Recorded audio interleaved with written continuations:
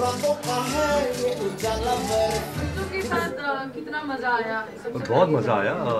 इतिहास से मेरा मैं पहली बार आया हूँ टाटा मेमोरियल हॉस्पिटल और रास्ते में दादा से मैंने बहुत कुछ सुना टाटा मेमोरियल अ, की जो अ, अ, अ, यहाँ दादा भी ट्रीट यहीं हुए थे so through him I have got to know lot of uh, things about Tata Memorial and what they're doing for the children out here. And I think it's it's a great endeavor.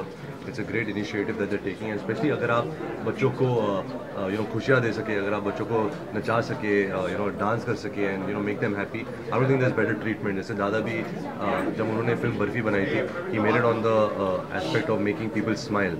Uh, so I think smile is uh, the best cure for anything. And today uh, the the children themselves uh, you know uh, give give a lot of smiles to all of us. So बहुत अच्छा लग रहा है क्योंकि एक चीज़ होता है खुद नाचना स्टेज पे नाचना बट बच्चों के साथ नाचना कुछ और ही एक्सपीरियंस होता है getting a smile on someone's face like Ranbir set और एक बात मैं कहना चाह चाहूँगा इस हॉस्पिटल के बारे में क्योंकि मैंने डॉक्टर बारवे से काफ़ी बात की थी तो उन्होंने कहा था कि ये this is India's largest cancer research and care hospital, which is a great thing. And only India, actually Asia's Asia's largest, and they treat more cancer patients. इधर सबसे ज़्यादा ये हॉस्पिटल में पेशेंट्स ट्रीट होते हैं ग्लोबली अमेरिका में भी इतने पेशेंट्स एक हॉस्पिटल में नहीं ट्रीट होते हैं जितने ये हॉस्पिटल में होते हैं तो आई थिंक बहुत अच्छी बात है कि सब लोग आके सपोर्ट कर रहे हैं और अवेयरनेस होनी चाहिए इसके बारे में और जो हमारी गवर्नमेंट है जिसकी हम लोग बुराई करते रहते हैं वो 250 करोड़ डोनेट करते हैं इस हॉस्पिटल को annually which is I think a commendable thing हम लोग को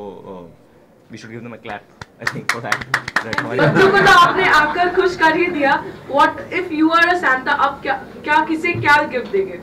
आई थिंक मैं अपने मैं करण जौहर को गिफ्ट दूँगा। मैं उनको कुछ रंग बिरंगे कपड़े दूँगा क्योंकि वो हमेशा ब्लैक पहनते हैं तो क्रिसमस का दिन है तो उनको कुछ लाल या पीली कलर की टी शर्ट या शर्ट दूँगा। मैं दादा को एक सैंटा क्लॉज चड्डी दूँगा लाल कलर की क्योंकि दादा लाइक्स कलरफुल अंडरवेयर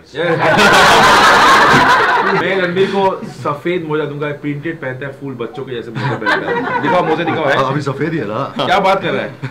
अच्छा सफ़ेद है आपको आप अलग अलग मुद्दों पर फ़िल्म बनाते हैं देश का सबसे बड़ा मुद्दा आप देख रहे होंगे सारे न्यूज़ चैनल्स के ऊपर क्या आने वाले दिनों में इस तरह के गैंग रेप और इन सारी चीज़ों पर फ़िल्म बनाने का सोचेंगे? हम सब मेरे ख्याल से मेरे जैसा कई सारे फ़िल्म मेकर हर लेखक हर पेंटर इस इंसिडेंट से इतना ये हमेशा से था लेकिन इस बात ने इतना ट्रिगर किया हमारे अंदर कि उस इमोशन को। I think everybody is doing something on this field you all see it coming out to painting बना रहे हैं लिख रहे हैं फ़िल्मों की कहानी लिखी जा रही है।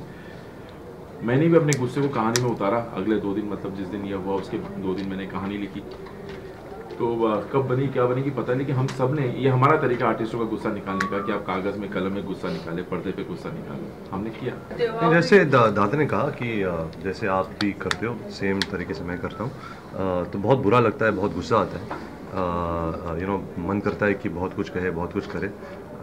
बट वी जस्ट होप के you know this kind of evil doesn't exist in our country in this world but and and you hope and and you hope you lose hope you know ज़्यादातर uh, जब uh, ऐसी बातें सुनने में आती है आप आप सोचते हो कि यू नो भलाई का ज़माना ही नहीं रहा you know there is no goodness in this world so I mean there's there's not much that you know I want to say on this topic it's just that you feel really bad about it